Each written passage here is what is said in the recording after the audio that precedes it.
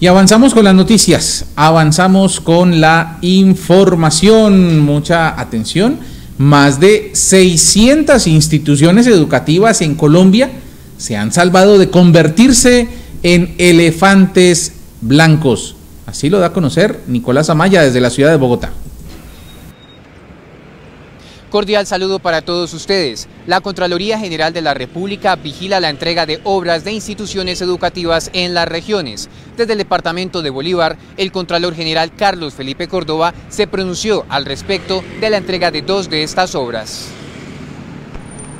Se van a beneficiar más de 2.000 muchachos que estaban esperando esta infraestructura hace más de siete años, oiganlo bien, siete años que había terminado. Las obras no son de ningún político, son de los ciudadanos.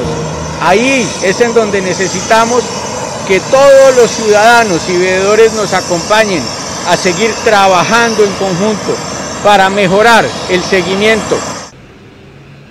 Según el ente de control, gracias a este acompañamiento a nivel nacional, se han protegido recursos públicos por cerca de 3.8 billones de pesos beneficiando a más de 400 mil niños en el país. Desde Bogotá les informó Nicolás Amaya. Nicolás, muchas gracias por su información.